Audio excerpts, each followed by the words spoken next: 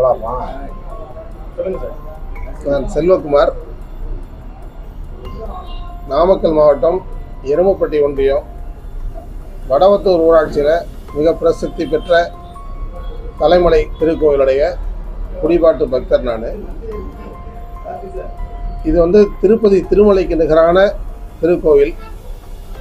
தலைமலை ஸ்ரீ வெங்கடாஜலபதி பெருமாள் திருக்கோயில்னு இது ரெக்கார்டில் பதிவு பண்ணியிருக்கிறது. இந்த கோவிலுக்கு வந்து ஐந்து தடங்கள் இருக்கிறது மேலே போகிறதுக்கு இதை வந்து அந்தந்த பகுதி மக்கள் வந்து அருங்கல் நல்லையன் செஞ்சீவராய பெருமாள் ஸ்ரீ நல்லேந்திர சுவாமி அப்படிங்கிற பேர் வச்சு அவங்கவுங்க வழிபடுறாங்க. இங்கே மேலே கருப்பனார் சுவாமி அந்த கோவிலை மூதாதை நம்முடைய மூதாதையர்கள் அங்கே நிர்மாணம் பண்ணவுடைய சிலை கிருஷ்ணர் கோவில் எல்லாமே அங்கே ரொம்ப பிரசித்தி பெற்ற கோவிலாக அங்கே விளங்கிட்டு இருக்கு.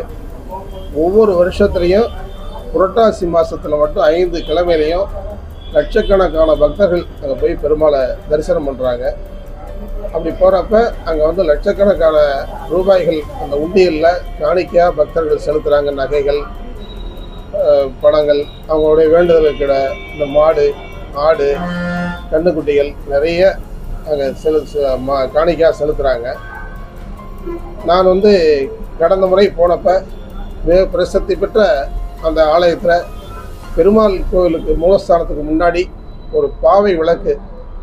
அதை விளக்கு நாச்சியார்னு சொல்கிறாங்க அதை ஆராத்தி அம்மன் அப்படின்ற பேர்லேயும் சொல்கிறாங்க அந்த மாதிரி பிரசித்தி பெற்ற அந்த அந்த விளக்கு நாச்சியாருடைய சிலை பழம்பெரும் ப- பழம்பெருமை வாய்ந்த சிலை ஐம்பொன் சிலை அது. மிக நல்ல கடி கெட்டியான உருவத்தில் ரொம்ப அழகாக நேர் நேர்த்தியாக பண்ணியிருப்பாங்க அந்த சிலையை. அந்த சிலை வந்து நான் போனப்போ அங்கே இல்லை. அங்கே பக்தர்கள்ட்ட கேட்டப்ப அங்கே இருக்கிற பணியாளர்கிட்ட கேட்டப்ப அவங்க எல்லாமே மறு மழுப்புறாங்க அவங்களுடைய பதில் எனக்கு திருப்திகரமாக தெரியலை. அதனால் அந்த சிலை வந்து அங்கே இல்லை. நான் போகிறப்ப அதுக்கு பிறகு தொடர்ந்து நம்ம அதை ஃபாலோ பண்ணிட்டு தான் இருக்கிறோம். ஆனால் இப்போ ஒரு சிலை அங்கே வச்சதாக திரும்ப பணியாளர்கள் சொல்கிறாங்க அவங்களே வந்து இது வந்து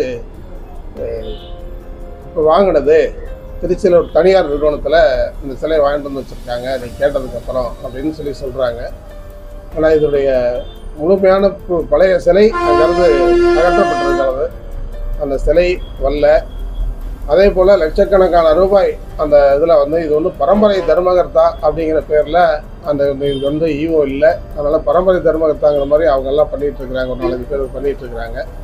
இது அரசாங்கம் முழு கவனம் செலுத்தி இன்றைக்கி வந்து மாண்புமிகு முதலமைச்சருடைய தலைமையிலே சிறப்பாக செய்கிற இந்த அரசாங்கம் நிறைய கோயில்களில் திருப்பணி செஞ்சு குடமுழுக்கு செஞ்சிட்ருக்கிறாங்க. கோவில் சொத்துக்கெல்லாம் முறையாக பராமரிக்கப்படணும் அப்படின்னு சொல்லி அறநிலையத்துறை அமைச்சர் முழு கவனம் செலுத்தி செஞ்சிட்ருக்கிறாங்க.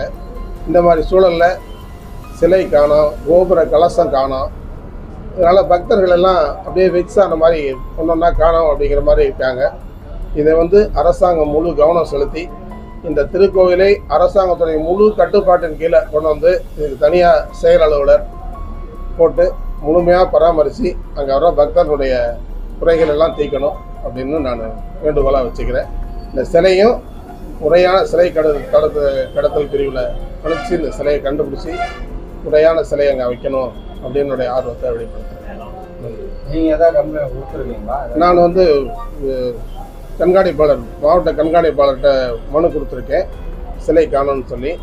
அதுக்கான விசாரணை இப்போ நடந்து ஆரம்பிச்சிருக்காங்க. விரைவில் அதுக்கான நல்ல முடிவாக சொல்லுவாங்க. இதெல்லாம் மதிப்பு எவ்வளோ மதிப்பு எனக்கு ஒரு எழுபது கிலோ எடை இருக்கும். ஐம்பன் சிலை அது. எங்களுடைய மூதாதையர்கள் செஞ்ச சிலை. எங்களுடைய மூதாதையர்கள் தான் அதை நிர்மாணம் பண்ணாங்க.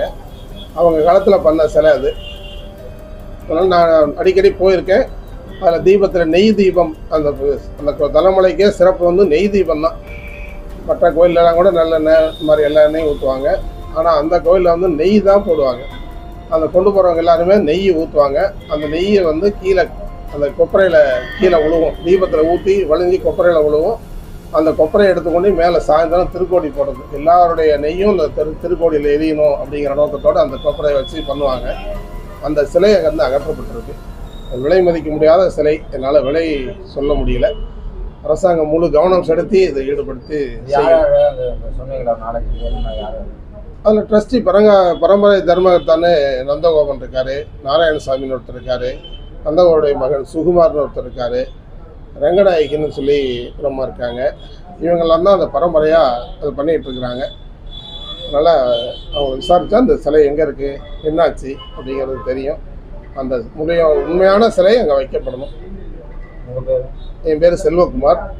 நான் வந்து தலைமலையுடைய குடிபாட்டு பக்தன் நான்.